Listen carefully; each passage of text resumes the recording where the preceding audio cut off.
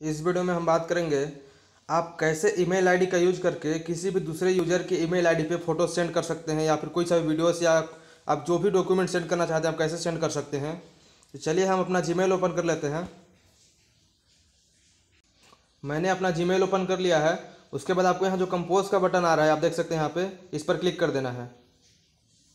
उसके बाद यहाँ आपको उसका ईमेल आईडी डालना है, जिसके ईमेल आईडी पे आप फ़ोटो सेंड करना चाहते हैं तो मैं अपना ईमेल आईडी यहाँ से इंटर कर लेता हूँ।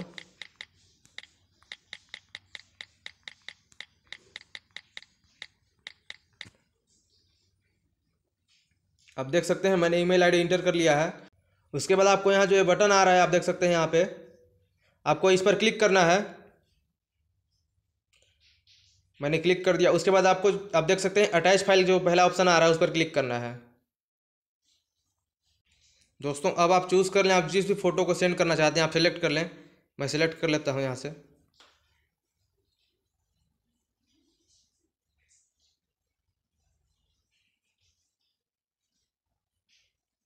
अब देख सकते हैं, मैंने फ़ोटोज़ को सेलेक्ट कर लिया है।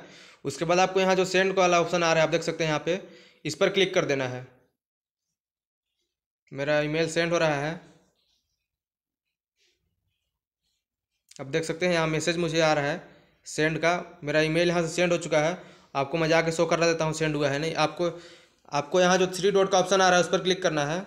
उसके बाद आपको सेंड का, यहाँ आप देख सकते हैं सेंड का ऑप्शन आ रहा है, इस पर क्लिक कर देना है।